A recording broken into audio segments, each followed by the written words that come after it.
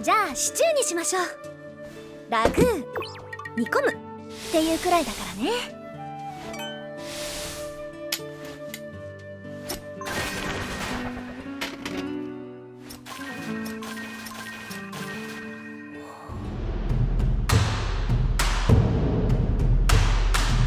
Today we're making rabbit ragu from the incredible Sword Art Online. And yes, we are using a real rabbit, just like in the show. Yes, we are. Ugh. this dish is so iconic within the story of Asuna and Kirito's relationship, we had to do it justice. So Kiwi and I caught a rabbit, and we know you have the skills to make us a delicious stew. Well, when you put it that way, Woohoo! You hear that, Kiwi? We're having a rabbit tonight. Let's get cooking. Now, the ragout rabbit is not a real animal, but we do have actual rabbit in the real world, so we're gonna use that for our recipe today. And yeah, it might seem like a crazy thing to eat, but I mean, imagine trying to take out one of these rabbits instead in Sword Art. Uh, no thanks. Now, my sincerest apologies to any vegetarians or vegans watching. You'll definitely want to click away now because we are just about to butcher this rabbit. Last chance. Okay, here we go. Separate the rabbit into five pieces the thighs, front legs, and the back. Season the meat by rubbing it with salt and pepper.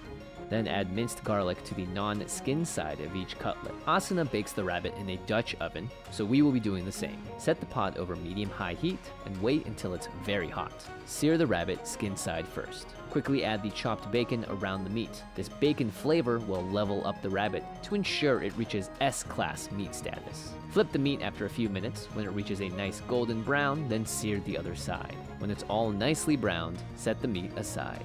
Now the fun part. Kids, don't try this at home. To deglaze the pot, add the sake and light it up. Woohoo! No, no, but seriously, be careful.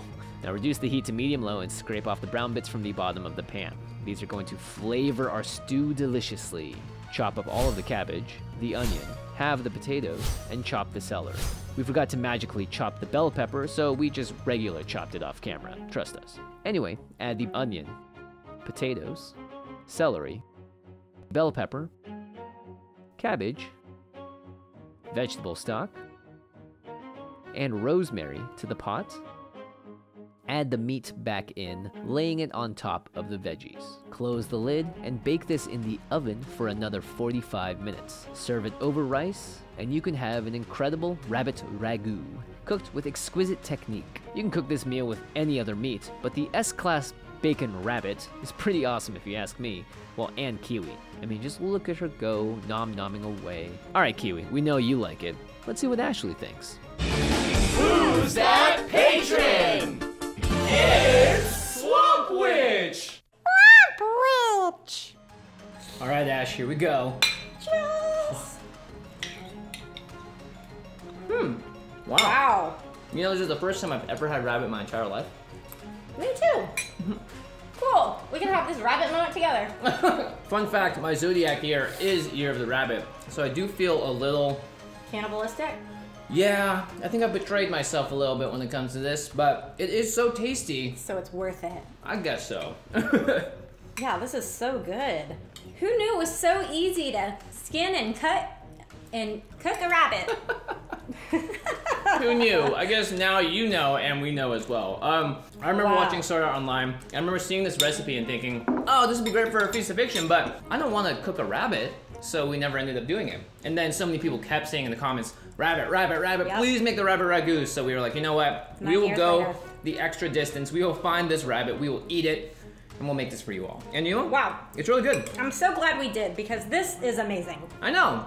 I love making stews. I've been making a lot of soups at home, and cooking a chicken is usually what we do, and sticking it in there and letting it sift, uh, seep into the water and the juices. But now we can do it with rabbit just as easily. Wow. I was afraid it was going to be super gamey and taste kind of like a wild animal, but turns out, just tastes a little bit like chicken. Yeah, and the veggies are delicious, and the broth is good. Oh my gosh, this is really great. You guys are gonna enjoy making this. If you could get past the rabbit stuff, Yes. you will love this dish. I mean, you can also substitute any other meat or make it vegetarian. It's up to you. The beauty about stews, though, is that it infuses itself with the flavor of the meat, and you're gonna have all these vegetables in there. It's really hearty. Mm-hmm. Just drinking a soup will fill you up a lot more than you expect. Yep, I can totally see why this is considered a advanced recipe in Sword Art Online Oh, because yeah. it is top of the line. It is good. this Yeah. is a top of the line ragu, my friends. Mm-hmm. And for me, an excuse to eat more vegetables. Honestly, I'm not even kidding. These days at home, it's easy to just open up like a packet of ramen, cook it, and then be like, all right, that's my food for the day. And you kind of miss out on eating fresh veggies, fresh fruits, fresh all that stuff. So making a stew, making a soup, these are all great excuses to have more vegetables and just greens in your life. Yep, and like Asuna, you're getting the sustenance you need here. Mm-hmm. You too can master cooking, really simply actually. Yep.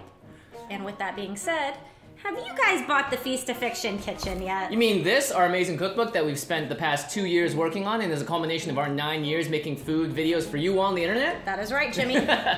You guys can go to feastoffiction.com and check it out. Ashley and I are so proud of this cookbook 55 recipes from animes, movies, video games, and more. Not to mention amazing full art photography all the way throughout. If there's a recipe that you think should be in this cookbook, there's a good chance it's already in there. Yeah. We wanted to put our heavy hitters and the best recipes that we could. So make sure you guys go to feastoffiction.com. You can buy it from Amazon, your local retailer, pretty much anywhere online these days. Yep, and as always, we're loving your pictures, your comments, your posts, all the tags of all the recipes and the pictures and the delicious foods Yeah. that you are serving to your kitchen tables from our very own The Feast of Fiction kitchen. So as always, thank you guys so much for doing that. And be sure to let us know in the comments what you want to see us make next. And tag us online, as well as join our Patreon at patreon.com slash feast of fiction, where you get to get more sneak peeks behind the scenes, as well as share images of the food you make directly with me and Ashley on our Discord. Lots of fun stuff. Make sure you guys check it out. And thank you all so much for supporting as always. And we will see you next time. Bye-bye. Oh my god. Please chew it more. No, she's like. Ah! Okay. Good girl, Kiwi. High five? High five.